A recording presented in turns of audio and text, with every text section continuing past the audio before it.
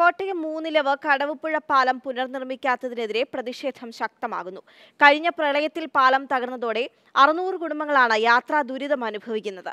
സർക്കാർ അവഗണനയിൽ പ്രതിഷേധിച്ച U D F ധർണയും സംഘടിപ്പിച്ചു.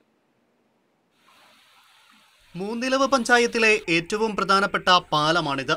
മേച്ചാൽ പട്ടികവർഗ കോളനിയിലേക്കുള്ള ഏക യാത്രാമാർഗവും ഈ പാലമാണ്. കഴിഞ്ഞ ഒക്ടോബറിലുണ്ടായ പ്രളയത്തിൽ തകർന്നു.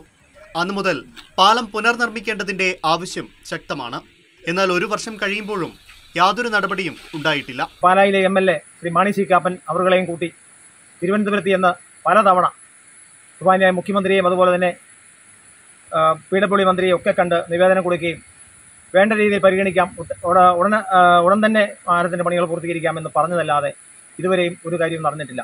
മൂന്നിലവ് പഞ്ചായത്തിലെ രണ്ട് മൂന്ന് നാല് അഞ്ച് വാർഡുകളിലായി അറുന്നൂറിലധികം കുടുംബങ്ങളുടെ യാത്രയാണ് പാലം തകർന്നതോടെ ദുരിതത്തിലായത്.